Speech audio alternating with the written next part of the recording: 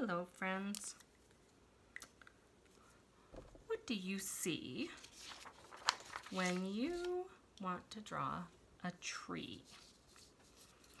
When I draw a tree, I start with the trunk. And I go from the bottom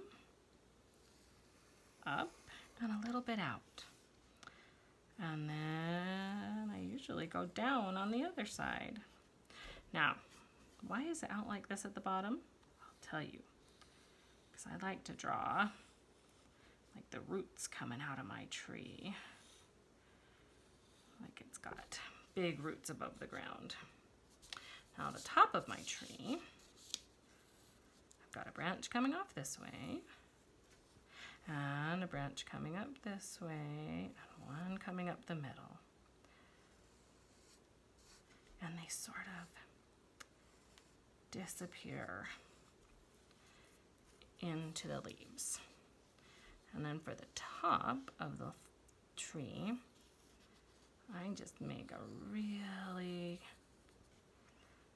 sort of bumpy edge. And this is where the branches are disappearing into the leaves. And sometimes I put some lines up in my treetop to show that I've got a tree started. Now, you guys go and do your tree and then come back and we'll see what's next.